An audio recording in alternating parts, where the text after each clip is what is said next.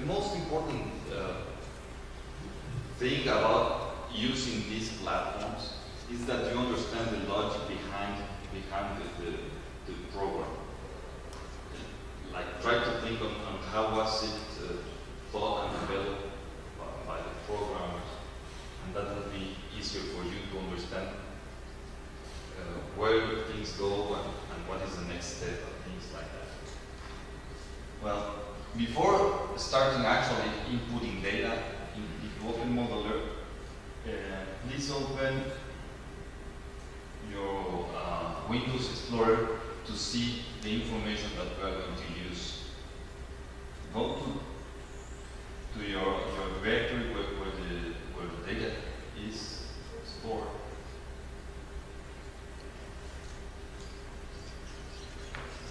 Which is ENM Nairobi.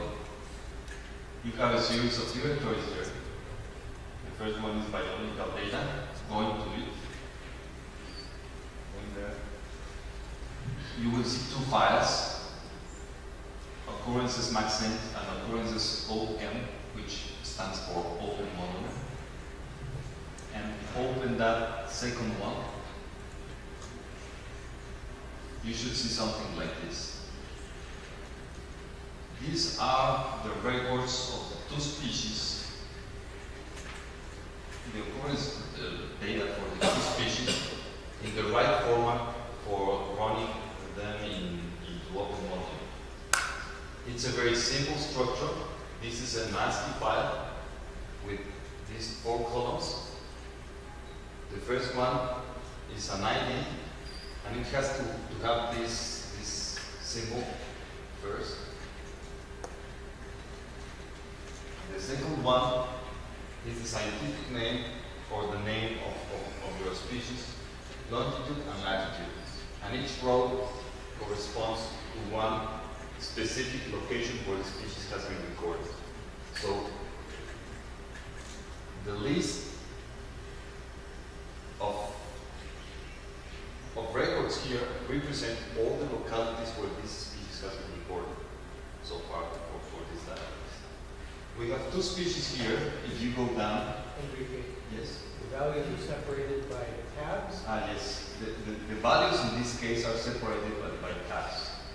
And the, the name of the, of the file, the extension of the name is txt, dot txt. We have all the records of one species together and then all the records of the second species together. Don't mix up the rows between species because then this causes a problem for the model. You have to have all the records of one species all together and then the next species and so forth. You include as many species as you wish, but we recommend you not to put like hundreds of species there.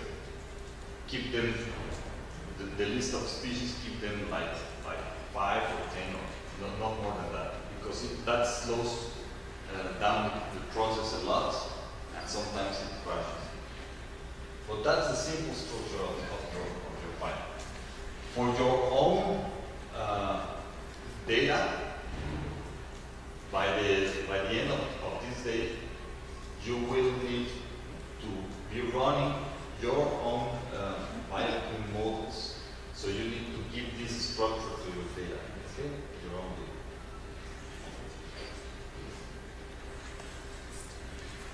Now go to to the geodata directory. Open the Africa directory and go to the climate present Africa.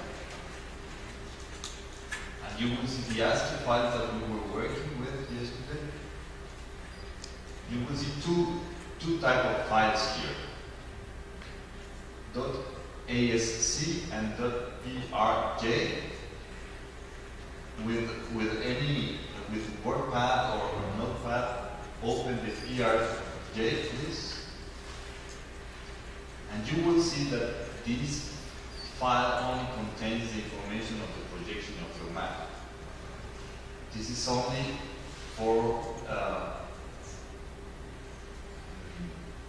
informative and, and referencing purposes within the GIS. But this is not the map. Open one of your, your videos,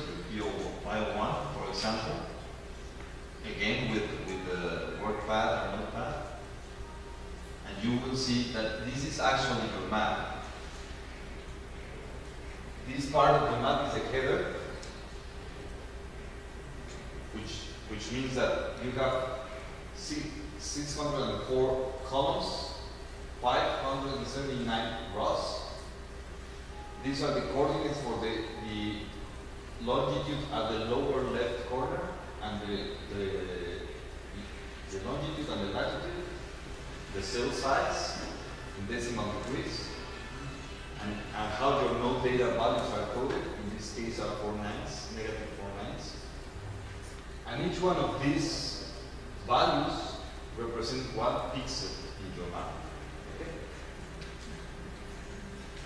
And this format is a plain format that can be an ASCII format that can be read by any, any text uh, reader. So these are the two pieces of input data that we need, and this is the format that we need this data to, to use. When we see Maxent with Richard, you will see that the format for the for the species data is going to be a bit different, but also very similar.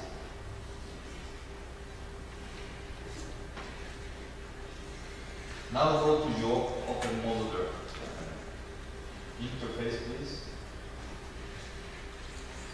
And you see that it has two, two parts here in the interface. The left hand side and the right hand, right hand side. And you have a series of, of icons here for parameterizing all what you need to, to run your models. And uh, we are going to follow the order of these icons to, to make our first model here. So click on the, on the first one, the one that says layer sets.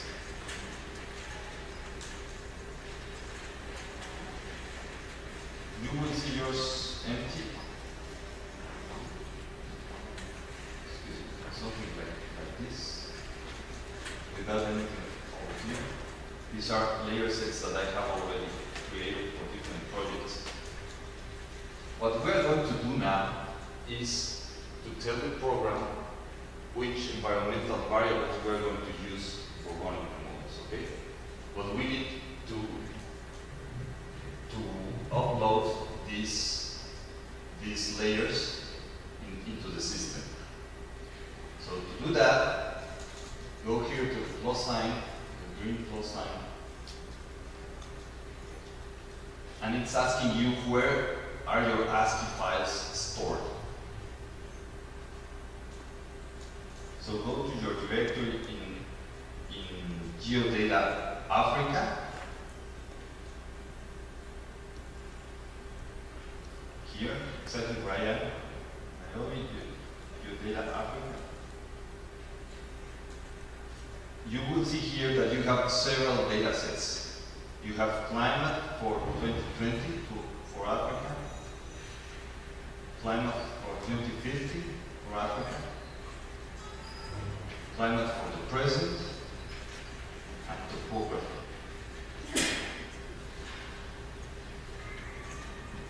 You can see that you have two, two symbols, two symbols here, one in red and one in green. Here says that the, the ones in green means that they have information on the projection, on the geographic projection, and refers to this PRJ file that I showed you uh, before. So the ones that don't have it, it's, they are marked with, with red. There is no problem for running the models if they have or they don't have. It's only that in the case, in the green ones, we know what is the projection we are working with. The others, we don't know. Okay? Now here, you will select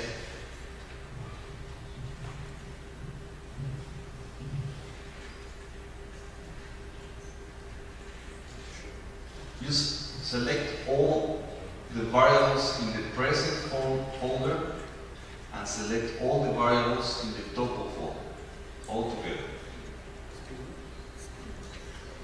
Did you see how? Just click on the on the variables in the pro- in the present uh, folder and uh, select all of them. The present and the total. Do you follow me? que no significa realidad. Doesn't it go? Sorry, from uh, adding the layer. I'm sorry?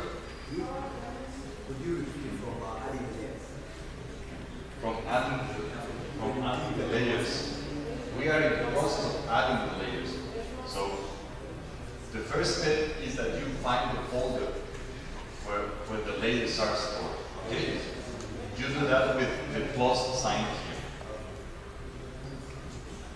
This is a browser, so it takes you to, to your hard drive where, where you can find the folder where, where the layers are stored. Then you select from the list that you it shows you there, select all the layers in this climate present Africa folder. Okay? And the total ones. And say, okay.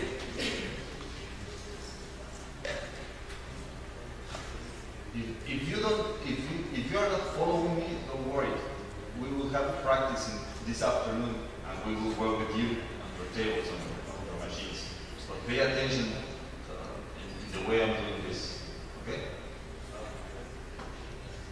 You will see the list of all the variables that, that you selected here in the window on the bottom of, the, of, of this screen.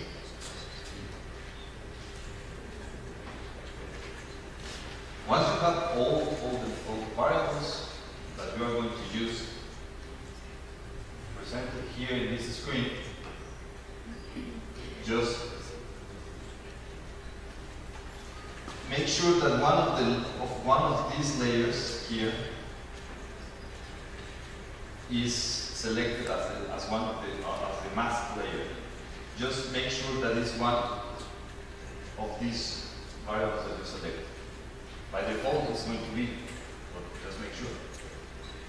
And, and then apply. Oh, sorry. You, you need to give a name to the layers. In this case, we are going to use Africa, present.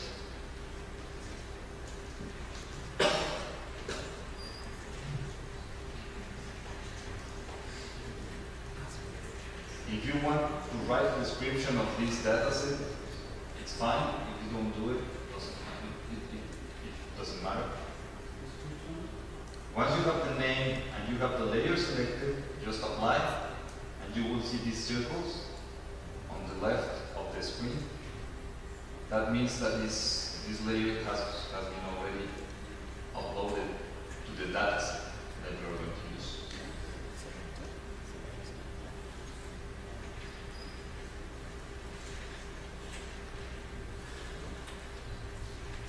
Do you follow me? Don't, don't worry if you've not got it running and, and right up within Enrique. Let's have him give us the overview.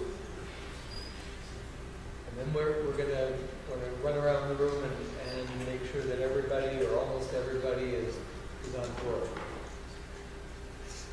In this case, select the one that is called aspect, only that one, and remove that one with the minus sign here from the from the data set, the data set.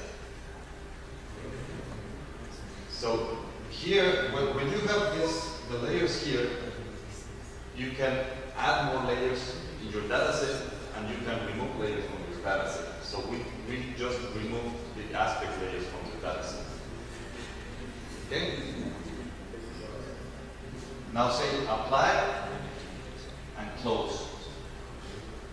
Now we have one piece of the input data already set for running. We have the, the data set. we need now uh, to input the data. But before inputting the data, the points on the, da- on the, on the layers, go to the second icon here, and you will see a list of, in, in red, you don't, you, you won't have these uh, blue options, you will have only the red ones, which are all the algorithms that uh, openModeller can handle. These are different methods of modeling images. Okay? You, you see here artificial neural networks, bioclim, climate space model, environmental distances, etc. Even we have Maxent, Ma- here, but it does, it's, it's not working properly. So don't use Maxent within uh, openModeller so far. Go to the, click on the bioclim option, and read on the profile. It's a brief des- description on how it works. And then you see the parameters.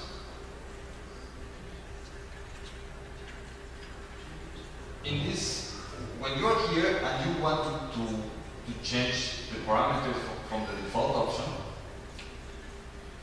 and you, you see this is grayed out, so, so you cannot modify the values here.